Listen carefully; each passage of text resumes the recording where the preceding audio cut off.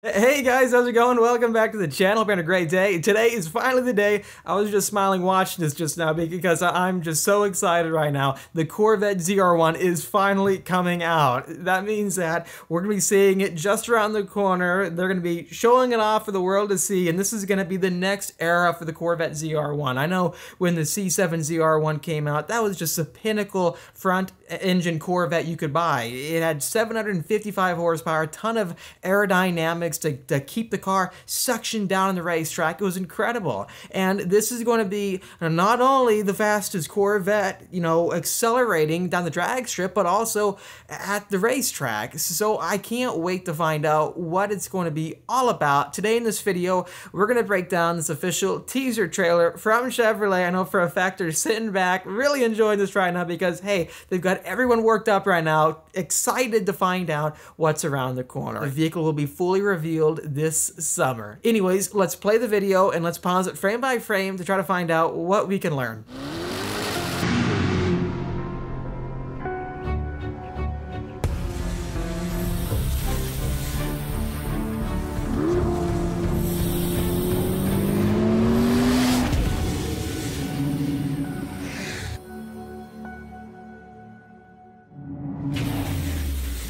Right away, hope you enjoyed watching that. If you want to go to their official account to check it out, I'll have it linked on the description or in the description down below.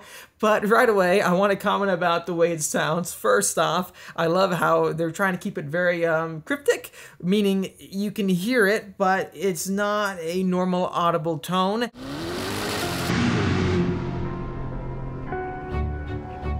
It's probably banging off the uh, rev limiter right now, and with the turbochargers, if it has that, I think it does. Many many people do.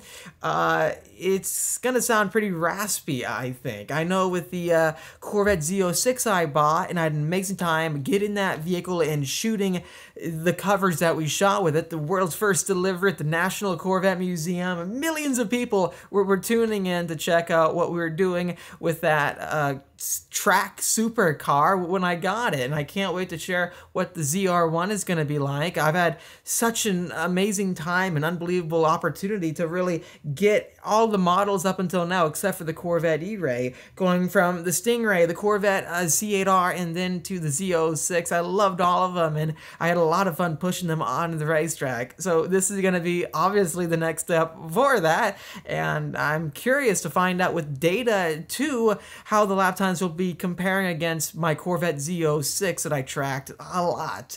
Anyways, going back to the video, let's pause it on the next frame. So we have a sideways silhouette. It looks like it's got the same shape altogether as the Z06 and every other mid-engine Corvette right now with starting down low and swooping all the way up as an angle, giving you downforce right there above the front axle with that huge front windscreen. It's pushed so far up because you're sitting right there in the middle having the mid-engine behind you. It's totally different than the C7 uh, front engine cars where that front windshield is pushed all the way back because there's an engine right there above those front wheels. Anyways, going all the way back, I don't think we're going to have a roost coupe by any means. I don't see that on the silhouette, but we can see more if I continue hitting play.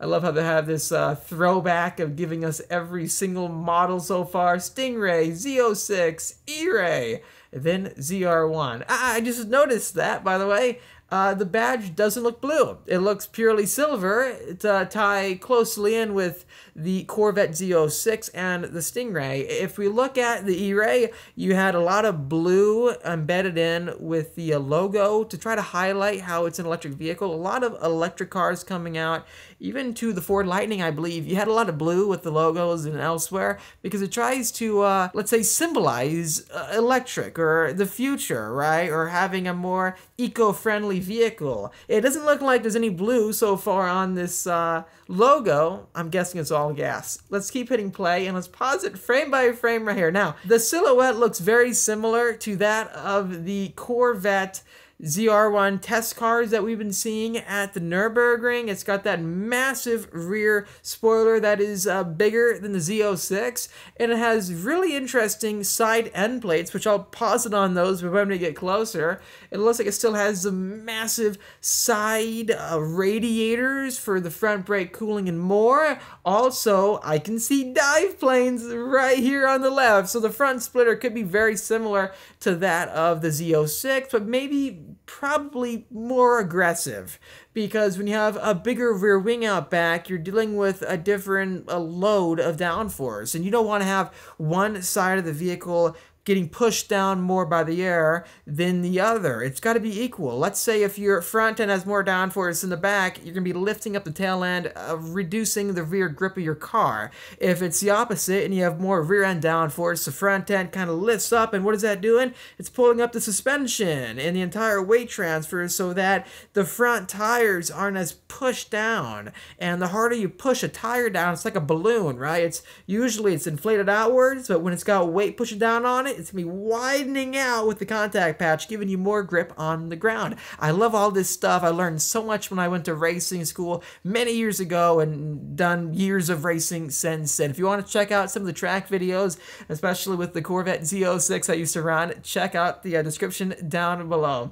Anyways, let's continue watching this video and uh, pause it in more on more segments. So here's the next shot I want to pause it on. It looks like we have the same side mirrors. Hey, it's not that big of a deal. We would expect that, right? It's a Corvette off the same assembly line. It looks like we still have the floating blades in front of the side radiators on either side. Fundamentally, it's pretty similar on the corners, right? With that wide body effect on the front bumper. Do you see how it curves down and then it curves again as a double crest with a dip in the middle?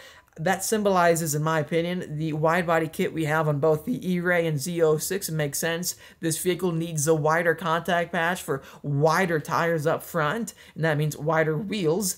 Going all the way down, I do want to also mention how the middle is fully blacked out. Maybe they have some trick aero in the middle that they are trying to keep down low or it's just the framework of the silhouette uh you know graphic they've created for this quick 22 second video. I am curious what did to say. Let me know in the comment section down below. Let's continue hitting play and let's pause it on this next frame right about here. So this is an interesting shot right here. I've paused it on the side end plates and they have a weird curve to them where when you, you look at the front of it, it seems like it's connected and is completely perpendicular to the rear spoiler, right? So the spoiler, the actual flat part that's dealing with the airflow, then here's the end plate, and it's perfectly straight with it, right? But then it starts curving, curving outward. I really am curious what the functioning behind that is. Is it creating a different aerodynamic profile with the drag coefficient? I'm not sure. It looks like it's gonna be uh, very tall. I think if this is fully accurate with the render, that looks like a very tall end plate on the sides of that rear wing. I'm very excited to see this in person, guys. Let me know what do you think in the comment section down below altogether. This is pretty cool to see, in my opinion. I can't wait to find out more details and, and maybe even ask the team what they have to say about the vehicle if that opportunity comes up. Please let me know your thoughts in the comment section down below. I'm very curious how lap times will be for the vehicle, also how performance will be for having the most power out of any mid-engine Corvette yet. With this new platform, it means you have more weight out back, giving you more grip. So it should be uh, not quite the same as any Corvette ever before. But I want to find out from you, are you excited? Did you plan to get in this vehicle? I know many of you are probably on a wait list in some way, shape, or form, or you've been looking forward to this moment for quite a while now. Is this the end point? Is this the finale for the mid-engine Corvette? Will there be anything else from here on out? I don't know, but the current consensus is that this will have the most amount of power out of any Corvette yet, maybe close to 800 plus horsepower. I can't believe that. I just can't. I, I can't wait to find out. I really can't wait. I'm gonna do my best to provide you guys with the best coverage possible of the vehicle. But I just wanted to throw this quick video out for you guys to, to check out this news. Please let me know your thoughts in the comment section down below. And uh, please hit the like button if you enjoyed this video and subscribe for much more great content coming out your way. I'll see all of you in the next episode. And don't forget to hit the notification bell, the uh, all icon to get all the notifications here on the channel. Thank you for watching. I'll see you later.